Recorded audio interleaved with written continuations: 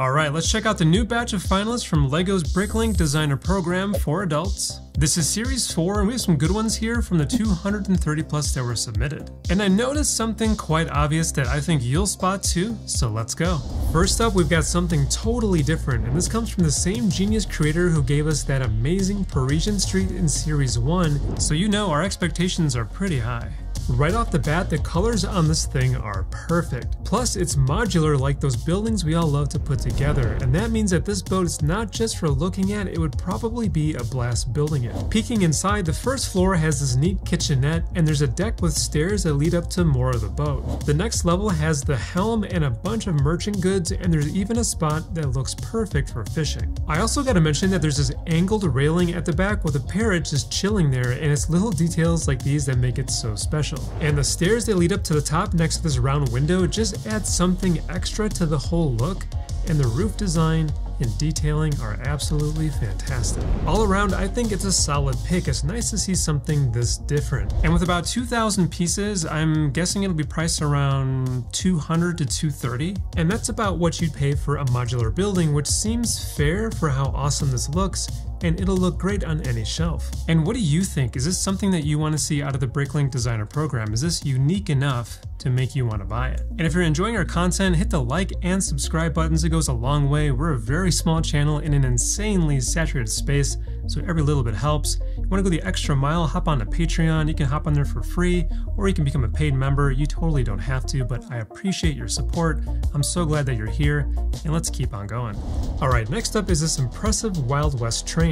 And guess what? It's from the same designer who nearly sold out of their general store in the first series. Trains are a huge deal in the LEGO world, and since this is the second one that they've picked in the Bricklink Designer program, I have a feeling this one's gonna be a hit.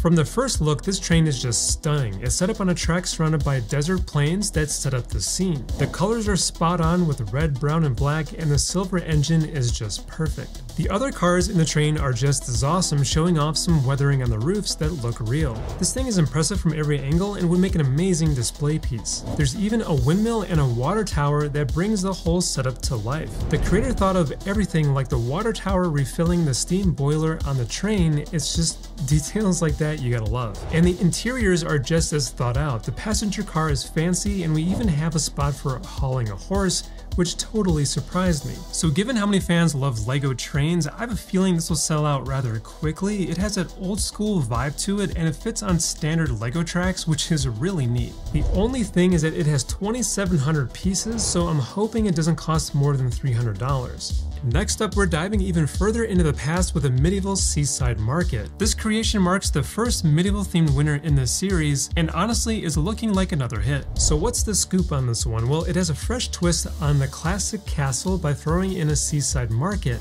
The whole setup is pretty big and comes in an L shape, which is rather unique and gives it a lot of character. Color-wise, we've spiced things up with awnings that pop against the usual castle gray, topped off with some slick red on the towers. They even added bits to the water water to make it look like waves are crashing against the shore, and the market stalls all look great. They also included a boat as an extra docked right at the market, and the way they designed the towers and stairways gives the whole scene some real depth. Normally, I'm all about those smooth, studless designs, but keeping the studs here actually makes sense. It keeps the piece count and the price from going sky high. This has some height too, with one tower standing taller than the rest, giving it a grand look. You can take the whole thing apart in sections, making it easy to move around, and that's a pro move right there, showing how much thought went into designing this beast. There's even a horse and carriage adding some life to the scene, and the entrance is decked out with greenery, making it welcoming and inside is just as detailed. There's a cozy interior with simple furnishings like a stump stool for writing, which is a nod to simpler times. And those wine barrels with grapes on top are a perfect touch for the era. Overall, with its popularity, I'm betting this will be supported rather quickly. Hopefully we don't get too many medieval sets and get tired of them, but I mean, when you think about it,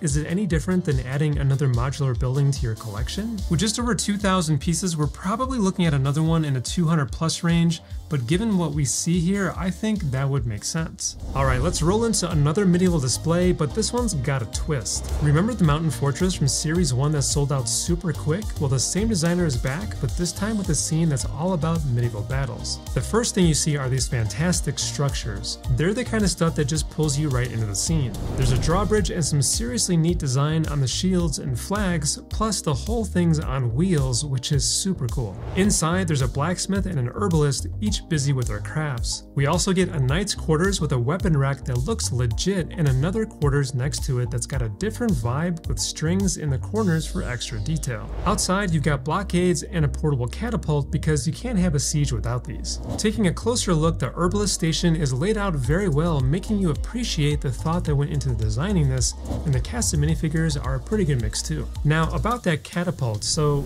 yes, it does work and it can launch about 5 feet. And we can also see that there's a field kitchen and a small tent adding to the overall scene. So here's the deal, there's 2,500 pieces here and at first glance it seems like it's a lot smaller compared to others, but there is a lot of pieces in the set. I really hope that this one is around 150 to 175, but realistically we're probably looking at something higher. I don't know, what do you think? Would this be worth a higher price tag given what we're getting here?